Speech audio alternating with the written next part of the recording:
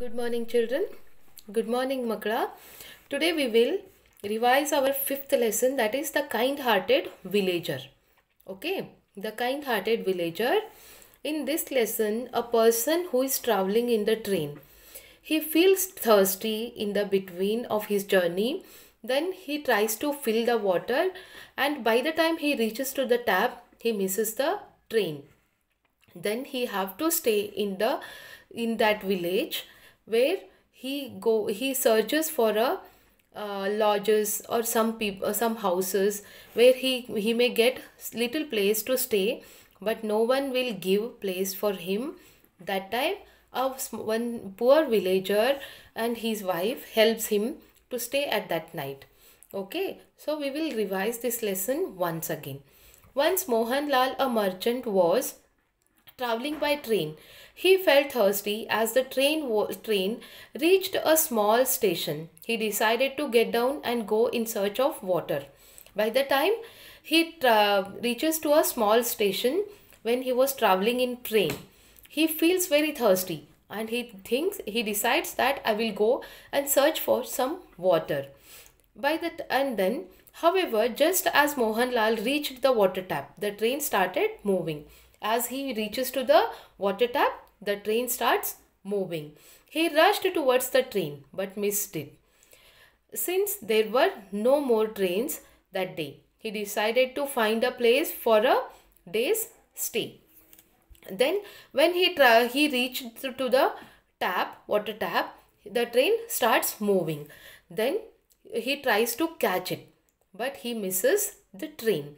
Then he decides that he will find a place for the stay because there was no other train for further journey mohanlal searched entire village but could not find a vacant room in any of the lodge. As he was searching, he came across a small, neatly kept hut. Mohanlal, what he did, he was, he decided that today I am going to stay in this village. Tomorrow I'll go. Then, when he started to search for the, when he started to search for the house or some lodge, he could not find any lodge in that village. Then he he saw a beautifully kept a neat hut which was lit with a light. Then he comes to that hut and he knocks down. He knocks on the door. A poor man Ramu opened the door. Mohanlal explained him the problem, requested Ramu to allow him to stay in his house for the night. Then when he knocks on the door, Ramu, a poor person, he opens the door. When Ramu opens the door, Mohanlal explains him what happened with him. Mohanlal explains Ramu that what happened. He was feeling thirsty. When he uh, got down in search of water, by the time he reaches to the water tap, he misses the he missed the train. All the things, all the thing what had happened, he explained to the Ramu. Then he requested him to allow him to stay in his house. Ramu was kind man, he agreed readily. In the evening, Ramu's wife Sarla served Mohanlal a simple home cooked meal. Then Ramu was very kind person.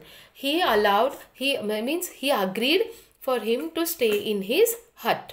And Ramu's wife Sarala, she served him a homemade food in the evening means for dinner before going to bed mohanlal politely thanked ramu uh, for all that he had done and asked how much should i pay you ramu said that he did not want any money in return then before going to sleep mohanlal asks him you have you are very good person you are very kind hearted person you have helped me a lot.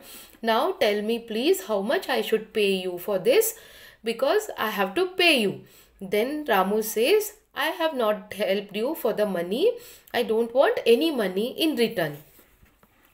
Soon a rich man comes to Ramu's house and demanded that the debts, debts be paid off immediately. Ramu begged him for some more time.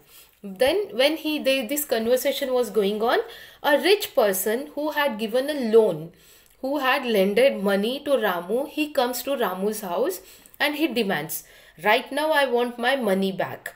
whatever you have to pay me you pay me it off right now then ramu begs him ramu begs him please give me some more time ನನಗೆ ಇನ್ನೊಂದು ಸ್ವಲ್ಪ ಸಮಯ ಅವಕಾಶ ಕೊಡಿ he begs him then, realizing that Ramu was badly in need of money, Mohanlal quietly left a packet in his room before leaving the next morning.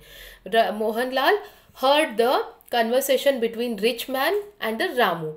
Then what he did, he kept a packet with some money that he understands. Ramu is in very Ramu is badly in need of money. I should help him.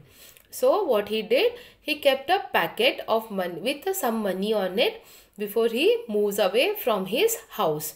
In the packet there was some money and a note for Ramu saying, "You helped me for that. This is in return."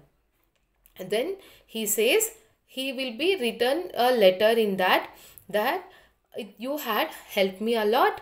And then this is in return. When they both husband and wife reads it when husband and wife reads it they feel very bad. They feel very bad. And what happens next? We will see it in the next lesson. Okay? So what is the moral of the story?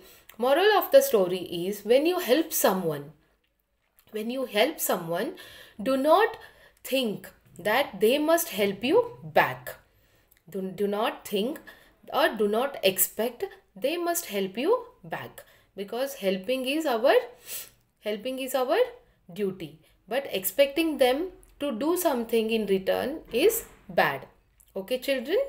So take care and try to help the people who are in need. Okay? Try to help the people who are in need. Okay? So take care we meet and we continue this lesson in the next class